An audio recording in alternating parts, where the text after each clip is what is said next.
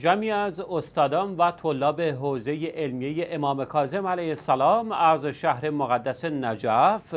با مرجان قدر حضرت آیت الله العظما شیرازی مدزلو در شهر مقدس قوم دیدار کردند. معظم الله در این دیدار طی بیاناتی فرمودند پاداش و اجر همسنگ با سختی و مشقت است چنانکه مضمون آیات کریمه قرآن کریم و روایات شریفه متواتر اهل بیت علیهم السلام همین مطلب را میرساند. ایشان ادامه دادند باید توجه داشت نه تنها کسب و تحصیل علم به مقدار مشقت و تحمل سختی است بلکه هر چیز دیگری نیز همین گونه است یعنی کسب علم رسیدن به تقوا و خدا پروایی و حسن خلق نیز با مشقت حاصل می شود مرجعیت شیعه در تبیین این موضوع فرمودند انسان در این جهان آفریده شده تا در بطه آزمایش قرار گیرد و همانطور که خدای منان در آیه 14 سوره یونس بیان فرموده معلوم خواهد شد که چه کسی بیشتر می‌تواند سختی ها و مشقت ها را تحمل کند. کاملا واضح است که نیت، قصد و اخلاق نقشی بزرگ در این امر دارد اما نیت و اخلاص در تحمل مشقت نیز موضوعیت دارد. ایشان افزودند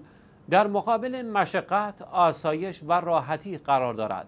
که نه تنها بهایی ندارد بلکه بازخواست نیز دارد چنانکه در روایات آمده است و فی حلالها حساب یعنی در حلال آن آسایش و راحتی حساب و بازخواست وجود دارد. معظم الله تاکید کردند تناسایی و سختی دو مقوله هستند که یک جا جمع نمی شوند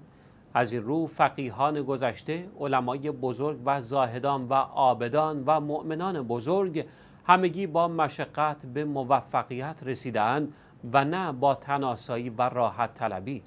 شیخ مفید، شیخ توسی، سید مرتزا، شریف رزی، شیخ انصاری، سید بحرالعلوم و دیگران که خدا مقامشان را بلند گرداند نه با تناسایی بلکه با مشقت به جای رسیدند. آیت الله سید صادق حسینی شیرازی مدزلو در پایان رهنمودهای خود فرمودند از نعمت حضور در نجف اشرف و مجاورت با امیر مؤمنان علی ابن ابی طالب علیه السلام برای راهی که در آن قرار گرفته اید بهره بگیرید. و در جهت تلاش و تحمل مشقت و در نهایت نیل به موفقیت بکوشید.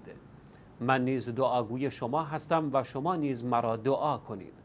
میهمانان مرجع قدر پس از این دیدار با فرزند مرجعیت شیعه آیت الله سید حسین شیرازی نیز دیدار کردند و به راهنمودهای ارزشمند ایشان گوش فرا دادند.